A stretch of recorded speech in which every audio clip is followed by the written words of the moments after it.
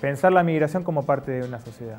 Si el, Estado diseña una política pública o una política migratoria, donde la población que llega al país está visto como parte constitutiva de esa sociedad, seguramente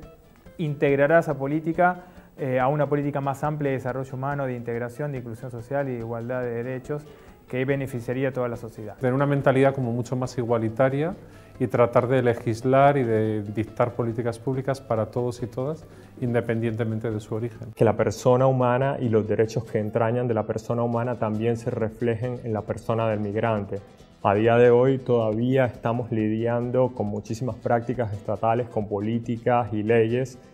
que no reconocen al migrante, a la persona migrante como un sujeto de derechos humanos. Tienen que tener como eje central esa preocupación por la persona del migrante y por su familia,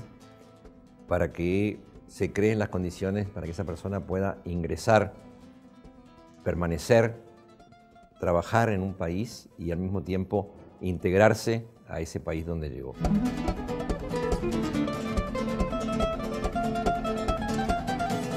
Una política respetuosa en materia de derechos humanos debe asegurar la no detención de los migrantes por razones administrativas, la no expulsión de migrantes y por consiguiente la posibilidad de separación de sus familias y también la no criminalización.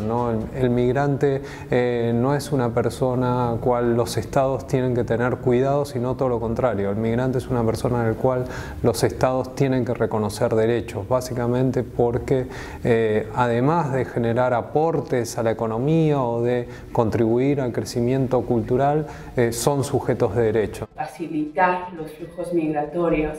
y fuera de una visión de seguridad o fuera de una visión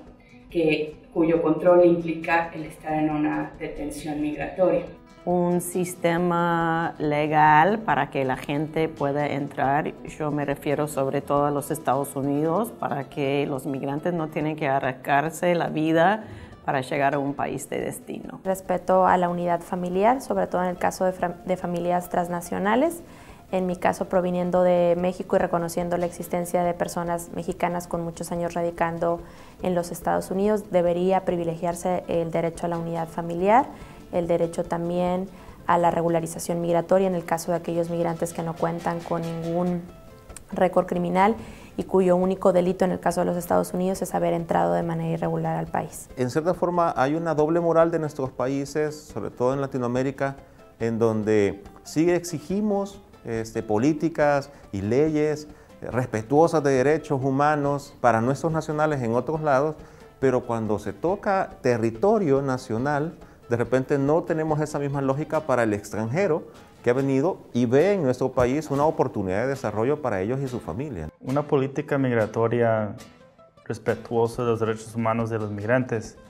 va a ser una batalla continua y tenemos que enfrentar las realidades que tenemos en cada región constantemente para poder mejorarlo.